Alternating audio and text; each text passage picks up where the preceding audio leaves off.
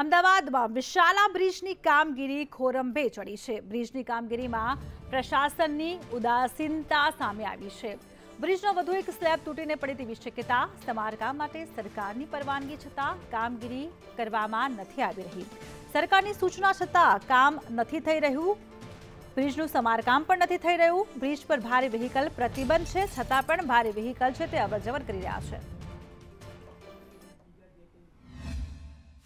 અમદાવાદ શહેરનો વિશાલા બ્રિજ કે જ્યાં સરકારે તો પરવાનગી આપી દીધી છે સમારકામની, પરંતુ આ સમારકામ માત્ર કાગળ પર જ રહ્યું છે.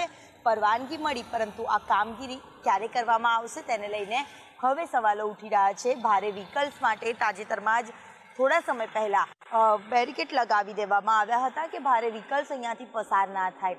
પરંતુ હંમેશા આરંભે સુરા અને અંતે અધૂરા તેના જેવી સ્થિતિ હવે. શાસ્ત્રી, અહીંયાના જે બ્રિજ, વિશાલા બ્રિજ છે, શાસ્ત્રી બ્રિજની હાલત જોવા મળી રહી છે.